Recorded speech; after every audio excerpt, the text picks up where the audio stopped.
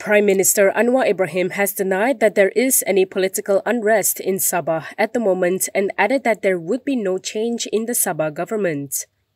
He said this in response to a question on rumors of a plot to topple the Sabah government.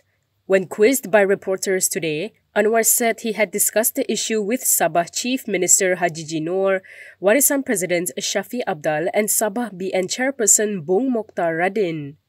Anwar added that he had also talked to UMNO President Ahmad Zahid Hamidi and DAP Secretary General Anthony Lok. Dan uh, nampak keadaan tenang sementara ini dan uh, saya tidak fikir ada apa-apa yang gejolak yang berlaku. Akan ada perubahan kerajaan negeri lah maksudnya? Uh, saya tengok tak, tak ada apa-apa perkembangan.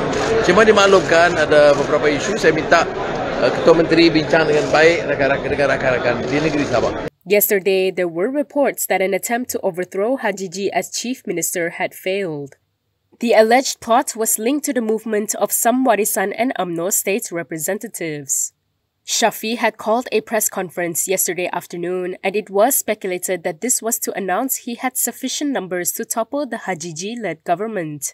However, the event was postponed after journalists waited for two hours.